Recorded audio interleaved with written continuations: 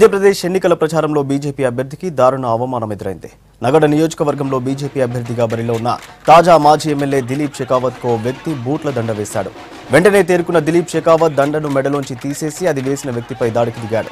నిన్న సాయంత్రం జనసంపర్క యాత్రలో భాగంగా దిలీప్ షెకావత్ ప్రచారం చేస్తుండగా ఈ ఘటన జరిగింది. బీజేపీ టోపీ కండువా వేసుకున్న వ్యక్తే ఎమ్మెల్యే మెడలో బూట్ల దండ వేయడంతో అంతా ఆశ్చర్యపోయారు. అతనెవరూ ఎందుకలా చేశాడనే వివరాలు తెలియరాలేదు.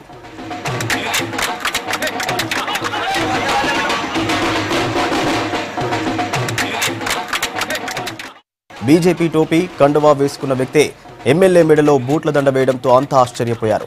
అతనెవరూ ఎందుకలా చేశాడనే వివరాలు తెలియరాలేదు.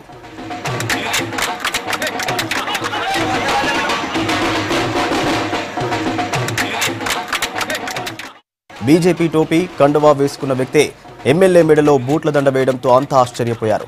అతనెవరూ ఎందుకలా చేశాడనే వివరాలు తెలియరాలేదు.